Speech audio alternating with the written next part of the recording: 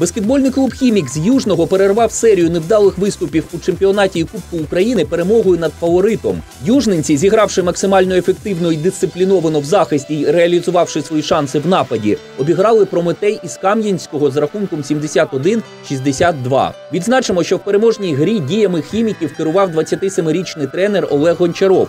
Головний наставник клубу Віталій Степановський відбував дискваліфікацію, отриману за надмірну емоційну поведінку в минулій грі. З найкращого боку в господарів себе проявили Тайрел Нельсон, Льюіс Саліван і Віталій Зотов. Вирішальною в грі стала четверта чверть, у якій Прометею хімік дозволив набрати лише 9 очок.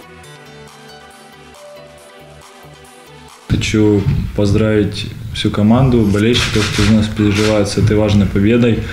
Прометей очень сильная индивидуальная команда. Вот. Э, В первую очередь мы справились с ними в защите, отлично отыграли на 62 очка. Такую команду остановить очень тяжело.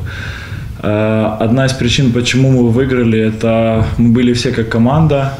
Это у нас э, хорошая атмосфера в раздевалке, стояли друг за друга, хорошая энергия. И благодаря энергии ребята отдали все на площадке. И э, получилась эта важная победа сегодня. И надеюсь, что эмоционально мы как раз с этой победой пойдем вверх.